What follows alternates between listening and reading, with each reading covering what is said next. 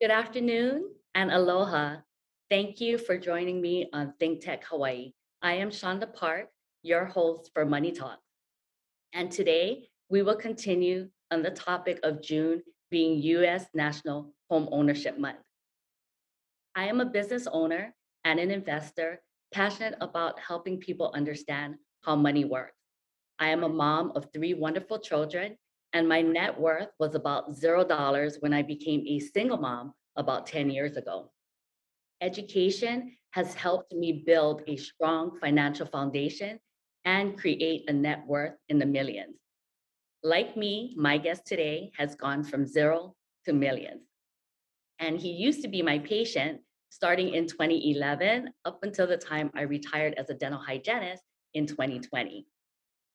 He has been a licensed realtor since 1973, developing more than 150 projects, including CPRs.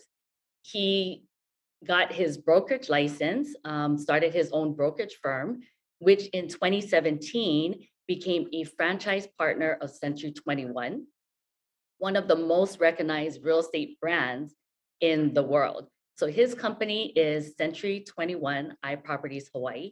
He is also the founder and owner of Abe Lee Seminars, the largest real estate school in Hawaii, providing uh, pre-licensing and content, continuing education classes. So Abe, um, he is a longtime advocate and creator of affordable housing. He wrote the book, How to Become a First-Time Home Buyer to help Hawaii residents buy their first home. He has helped many families, including mine. He is someone that I look up to, that I have a great deal of respect for, and he is someone who truly inspires me. Welcome, Abe Lee, to the show. Hi, Thank Abe. you very much, Chanda. Uh, I appreciate it. It's an honor. Oh, thank you so much for being on the show today. I appreciate you agreeing to be interviewed today. Thank you. So I remember when I first met you back in 2011, and right away I knew that you were someone that I could learn a, a great deal from. And so I would be picking your brain while picking at your teeth.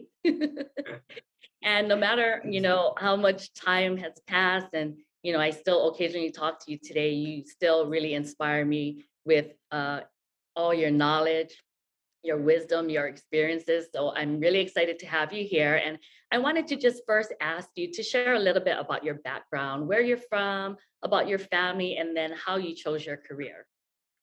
Sure, thank you. I'll make it short because yeah. I know you have other questions and things, topics to talk about. But I came from Korea when I was eight years old in 1956. So for you mathematicians, I'm 74 years old. and my father was a professor at the University of Hawaii, and he came in 1947, and we came in 1956. So having been born in February, I did not see him for almost eight years and had no knowledge of the English language. It was hard for me, but we're immigrant families. Uh, I went to university uh, high school and then to University of Hawaii, went to University of Utah for a master's degree in education. And so I have a varied background in education. My mother was a teacher in Korea, and my father, of course, was a PhD now, or back then, and a CPA as well. So I had some really good upbringing as far as education was concerned. Oh yes, definitely. And and your your um, background too for your your master's. Yes, in education. In education. In education and administration on creative thinking processes. Okay, so with that, how did you choose the career that you chose? Actually, I didn't choose it. It just happened. you know, I got a, mas- uh, a bachelor's degree in Asian studies, which is what I call, what do you do with this degree? you know? Yeah. but I always knew that I would be doing business somehow. Mm-hmm. So I just got my degree in Asian studies because that was the fastest way to graduate from college to satisfy mom, my mom and dad because they're Asians and they want you to graduate from college. So in my senior year in college, I went door to door selling fire extinguishers in Kahala because I figured rich families they need to protect their home. Mm-hmm. So I knocked on doors and sold fire extinguishers door to door. I got a call from a guy and a gentleman, and he says, "Hey, my wife says I should hire you." I said, "Who are you?" He goes, "Well, you sold my wife three fire extinguishers, And she says, This guy's really good. You should hire him. He was a life insurance agent. I had no idea about life insurance. Mhm. So I interviewed with him and I got intrigued about how you make work or make a living selling insurance. I was interested. So I interviewed with three different companies. I didn't join him, unfortunately, but I joined Connecticut Mutual. And back then, they gave you a draw of $1,000 a month. And as long as you sold enough insurance to satisfy the draw, then you kept your job. So after three months, I sold enough insurance to qualify for one year's worth of salary. So I told my boss, hey, I'm going to take a break and I'm going to go and get a real estate license. And he said, you can't do that. I said, but I'm nine months ahead, my, nine months ahead of schedule. He says, Mhm. no, you can't. So I said, I, I thought I was a free agent and I could do whatever I wanted as long as I kept up with your draw. And I said, when do I turn in my resignation? So then I went to real estate and Oh. gave up my insurance career after, after what, uh, six months or something. That was So very I- short-lived. Yes, it was. So I got my license, and for somehow, very fortunately, I met a lady named Liz Baker, whose Mhm. husband developed real estate, and she sold his projects. So first preference was always given to first-time home buyers.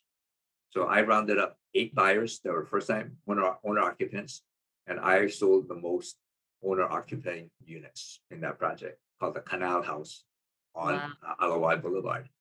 So that got my got me started. But what it taught me was you just talk to anybody and everybody about a project. And I had people calling me and say, Hey, my friend told me to call you because you got this project. Can you help me? So I had eight buyers that were total strangers. And but they bought. So then I went to graduate school in Utah, came Mhm. back for my master's, came Mhm. back and worked for a fellow named Bob Allen, who developed Century Center, Century Square, and Executive Center. So I had heard about Bob Allen because he's a very good developer, very nice man, and his Yeah. daughter was a broker. So I called Julie, uh, Judy Allen Dang. I said, "Hey Judy, uh, I understand you're doing this project. Can I meet with you?" And Mhm. she goes, "Well, we're not sell, uh, hiring any agents. We have enough." I said, "Well, can I just meet with you and you know just see what the project's about?" So we met, and it was the executive center on the corner of Hotel and Bishop. Mhm. And so then she says, You know, I like you. I'll hire you. So even though she told me there was no opening, she took me. And I sold 50 units in that project. Wow. And that was number three in sales. But it took me a year, two years and a half to get that many buyers because we're selling off of plans. Yeah. And we're just, you know, seeing if we can buy find buyers based on the plans. So I sent out a thousand letters. I got 200 interviews and 50 bought. So that's the numbers I use when I tell my agents, you got to talk to a lot of people before you get to meet them and then you get to sell them. But I met a whole bunch of people along the way and it really helped me to Yeah, learn it's a to- law of large numbers in any business exactly. that you're in, right? So you It's had success very early on in your career. And I consider a person to be successful when they are successful in all areas of their life, especially their family life. So would you mind sharing about you being a father of six, a grandfather of 11, and share about your secrets to marriage, being that you're going to be celebrating your 50th wedding anniversary next year? Yes, um, I was very fortunate. I met a beautiful young lady named Sally Okura from Hilo, Mhm. and uh, she was in at the University of Hawaii going for a master's degree in social work. So we met, fell in love. Three months later, we got engaged. Six months later, we got married, which is pretty quick. That is really And- quick. Yeah. Then uh, we had our first child, then our second. I said, Do "You think that's enough?" She goes, "No, there's more." And I said, "No." So we had our third and fourth. And I said, "Do you think that's enough?" She goes, "No, there's somebody missing." So when we had our sixth child, she goes, "Okay, I think we're done." I Nice. Thank goodness. But I always tell people, you know, the success to our wedding marriage. One, I don't yell and scream at her. I've never sworn at her. And we just don't fight. Now we disagree, but we don't Mhm. fight. And the two words I always tell people that you have to learn as a husband, you say, yes, dear. And that's it. That's a That's secret. great. That's great advice. That's the secret. Okay, just yes, dear. That's So right. she took care of the home and was very supportive in you building your career and your businesses. She was working full time as a social worker, raised six kids. We had two miscarriages. I don't know how she did it, but she took care of the family. I mean, we had kids doing uh, hula, uh, basketball, music, piano, you name it. She arranged for the rides for all these kids. And I did it once in a while, but she really did most of the Mhm. work. So I give her credit for having been able to manage six children, a full time career, and still run a house. And support She's amazing. amazing husband too. Yeah, she That's right. sounds amazing. She's she Yeah. really sounds amazing. Thank you for sharing about that. And I wanted to ask you, I know in um, 1980 you made a lot of things happen, getting your broker's license, um, starting Abe Lee seminars, and then also purchasing your first home. So how did you do it all? Well, when we had three children, uh, we were asked by our landlord to leave. and the story is too long to give you now, but uh, my wife started calling everywhere to see if we could rent a place. Mhm. And every landlord said, How many kids you got? Three, too many. So she started to really get despondent. And then she called on this one ad, and the lady that answered said, Come on down, let's talk. Mhm. Come to find out that she was a nun for the Catholic Church. Her husband was a priest for the Catholic Church. And they both decided to get married. And they had five or six children, and they're managing this apartment building. And she said, Ah, three kids, plenty. Then that's okay. so she let us rent. Otherwise, we would have been homeless. And so Oh, we'll be forever grateful to her for allowing us to live in a two bedroom with, you know, three children. And. I told my wife, the next time we move, it is not going to be to a rental. We're going to be moving into our own home. And I made a pact with her. Fortunately, one of my clients, her husband inherited six homes on Lunalilo, Lunalilo Street by Piikoi, by the post oh, office. And this is your and- first that you purchased. Yeah, what happened was they had six homes and he inherited the property, but he had an inheritance tax that he had to pay. And so he felt like he had to sell his property to get out from that debt. Mhm. So I brought in some developers and they made presentations to my clients. And as I listened to that presentation, I said, they're not giving them my clients very much of a good deal. Right. So like a dummy, I said, let me develop this for you. And I can give you five homes with 400 grand cash and you can have your house free and clear and you can pay your taxes. And they go, really? Can you do that? I said, I think I can. I didn't know, but I did it. We condominiumized six homes. They kept the house in the back and we, I sold four and I bought the fifth house. So my uh, deal was I got 15,000 consulting fee. Each cottage was selling for 80,000. So I bought my cottage for 30,000. Wow, wow, So that's then- really amazing. I And you was lucky. like you said, you didn't know. I You didn't know what to do. You just took that chance. Yeah. So we borrowed money and we built a four bedroom, two bath house, 1,400 square feet on 1,400 square feet of land. That was our mansion. Fourteen hundred square feet. Yeah. On 1,400 square feet of land now. There was two story home, right? 700 Yeah. square feet each. Yeah. Yeah. But that was our mansion. That was our first home in Hawaii. Our kids were so happy that they actually had a house to live in. And it was brand new. Their own, yes. Yeah. So share about Well- that being your stepping stone and how that moved you, um, you know, up the ladder to your next home. Yeah. So I'm developing real estate and I'm buying and selling. And I Mm. saw another property on East Manoa Road.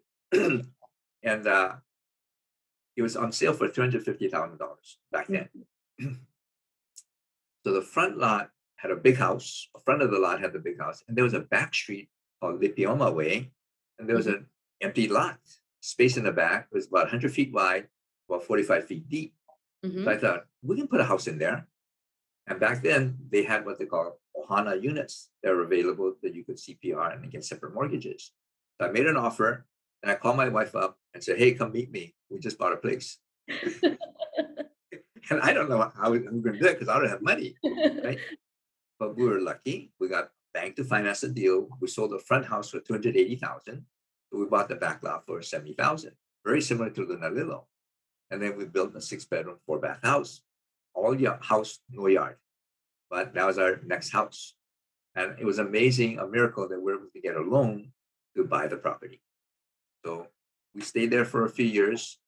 And then a friend of mine who's a realtor calls me up and said, Hey, there's a house for sale, a lot for sale in Manoa. It's an acre of land with four houses. Mhm. So I said, Oh man, I just moved into this house and I can't afford it. He goes, But you got to take a look at it. So I tell I tell people, you don't have to buy, but you should always look. That's the advice. That's good So I advice. went up, yeah. So I went up there. I went up there to take a look at the home, Mhm. and it was three really dilapidated houses. If there was a slum in Manoa, this was it. Wow. And one house that needed to be fixed.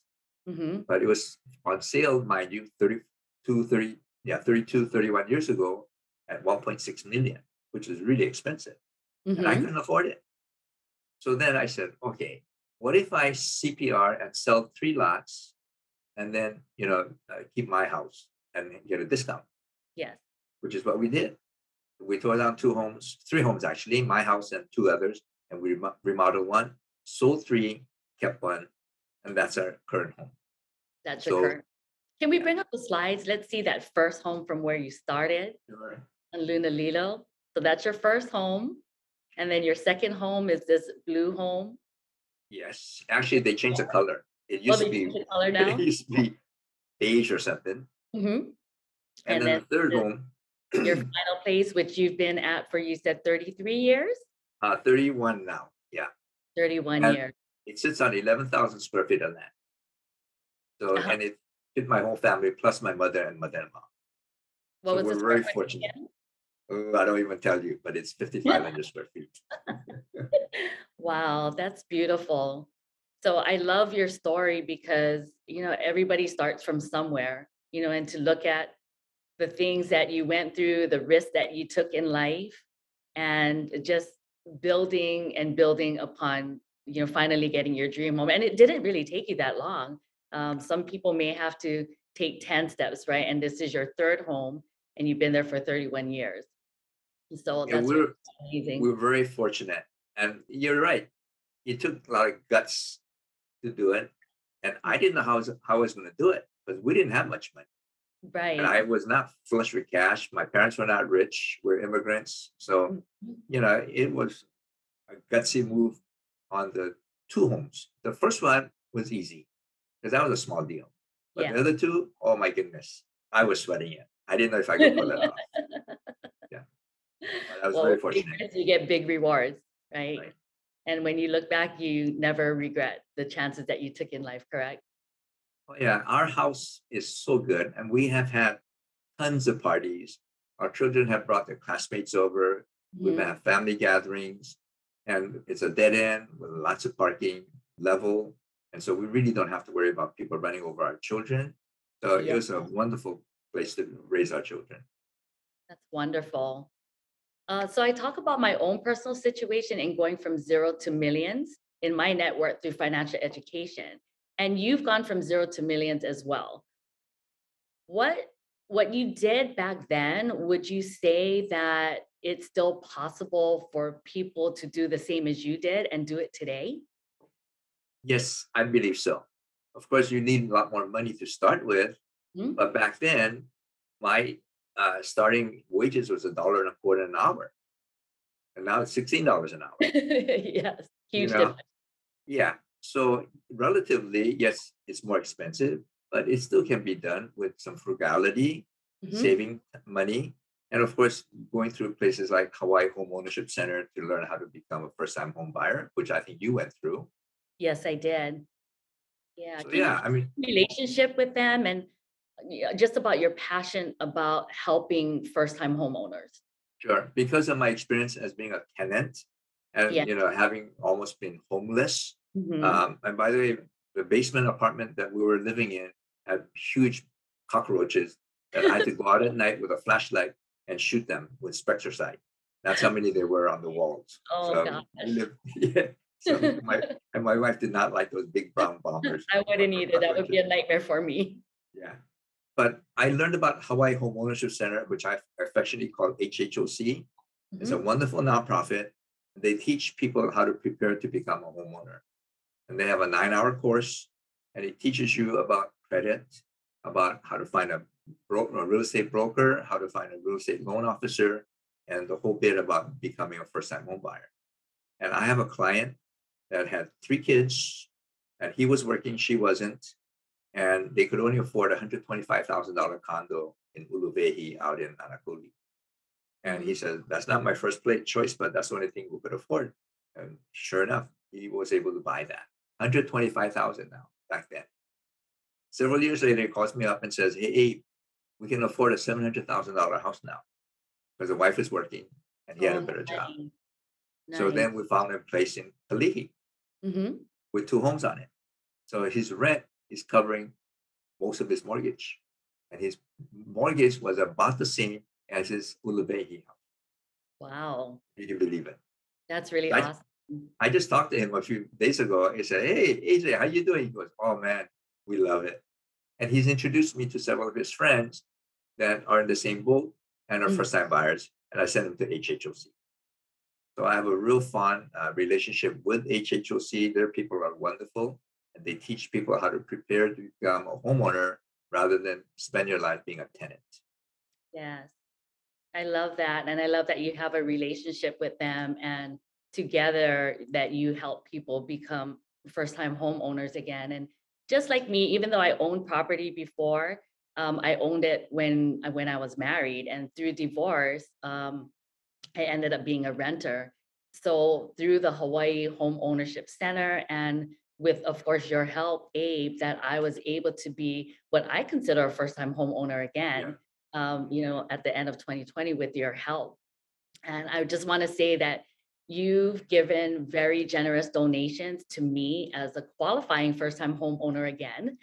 And um, and then you've also given uh, to my nonprofit, Azalea's Legacy Outreach, which is the main sponsor of Safe Ride Hawaii, Mhm. um, a service that gets intoxicated drivers and their cars home safely. So I want to just thank you again for your generosity to me in, in buying a home and then to my daughter's foundation.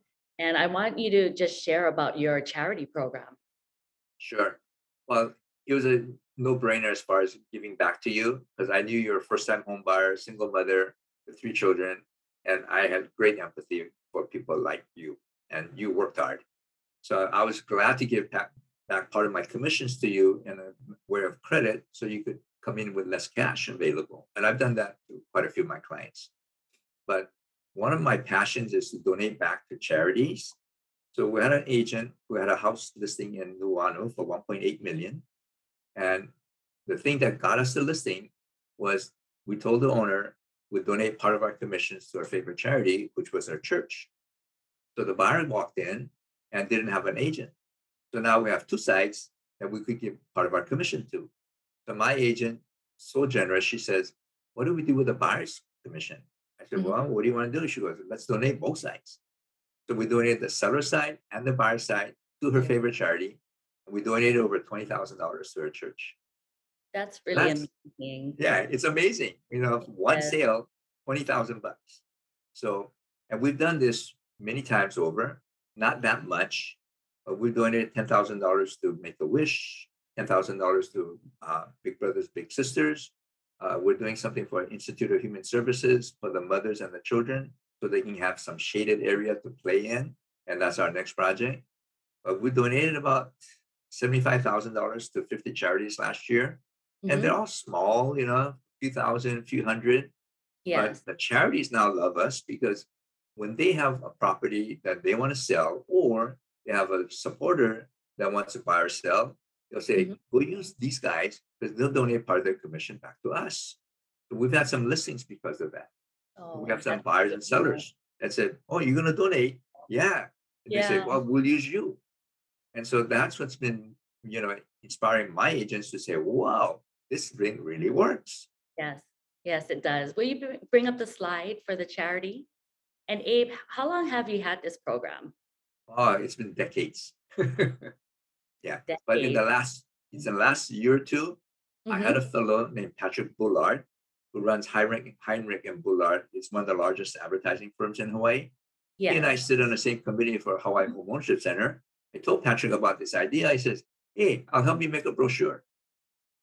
And so we have a professional brochure that he made for us to promote this charity donation program. So we've had people just support us, you know, from different uh, groups. And so we're very fortunate that we're able to do this. And we hope that more and more businesses would do that. And we'd be glad to work with anybody that has a buyer seller who donate part of our commission to their favorite charity. Thank you for including Azaleas. yes. And if you would bring up that slide as well, uh, this is Abe Lee with his very generous donation to Azalea's Legacy Outreach.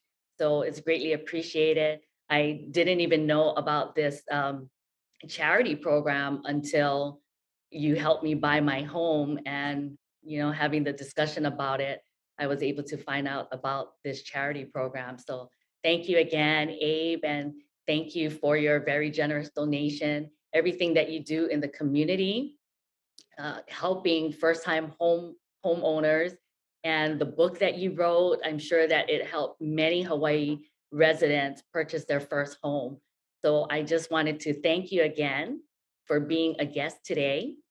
Thank you. sharing your knowledge, for sharing your wisdom, for sharing your experiences of going from zero to millions.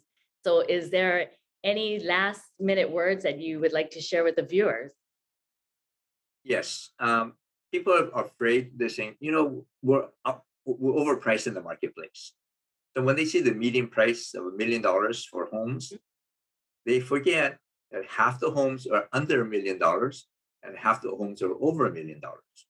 So there's still homes out there that could be somewhat affordable, although they're more expensive than the mainland. Right. Well, condominiums, same thing, five hundred thousand dollars or four hundred thousand dollars, sorry, median price. Mm-hmm. Half of them below four hundred thousand. So there are opportunities to buy first-time homes. Now, obviously, you can't be in Hawaii Loa or in Manoa on the first buy, yeah. but you got to start off somewhere. You have to start. We want, yeah, you got to start somewhere, and we want to help people do that. Thank you, Abe. Thank and you. I hope to give a lot of families hope. Thank you again for joining me today and being my guest. And viewers, please join me again on Monday, July 11th for another episode of Money Talk. Aloha. Thank you so much. Okay.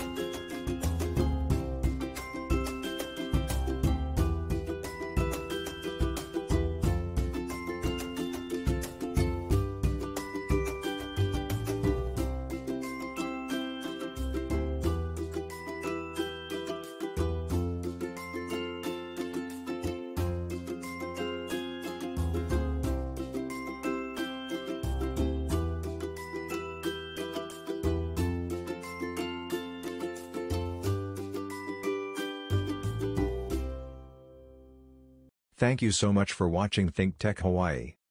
If you like what we do, please like us and click the subscribe button on YouTube and the follow button on Vimeo. You can also follow us on Facebook, Instagram, Twitter, and LinkedIn, and donate to us at thinktechhawaii.com. Mahalo.